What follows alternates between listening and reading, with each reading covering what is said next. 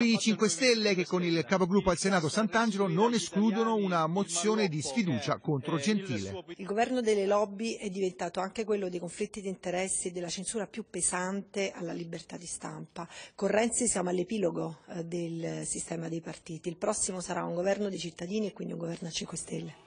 Molto critici